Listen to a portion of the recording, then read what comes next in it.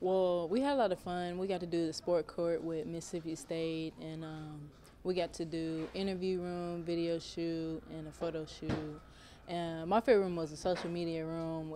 They're going over different emojis and what we would do in different situations, what we would put as our emoji. It's really cool. Like I think that's one of the things um, we talk about most is that um, you know a lot of the sports don't really get to hang out with each other, being so far away. Even if we knew each other in high school, whatever, um, we you know play each other and then we're on the plane, you know, ready to go. So um, it's cool just to get to see everybody in a different light and just you know experience everybody's personality in person. Yeah, I think uh, our excitement is really high, especially you know this season. We have so many new faces to show. Um, I think, and, and, such a young team, and but at the same time we're still so experienced with um, all of our seniors, and we got red shirts. So I think it's just going to be a really exciting year.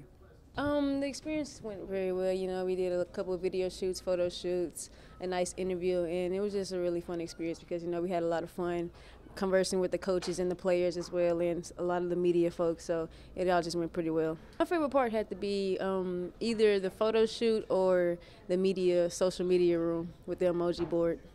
I'm excited a lot. Uh, you know, this team is going to be very special. We have a lot of returners coming in from last year, and the coaches are doing a very good job of preparing us for um, our opponents and people that we have to look forward to. So, you know, uh, we're just really excited to get started and stop playing against each other and start playing against other competition.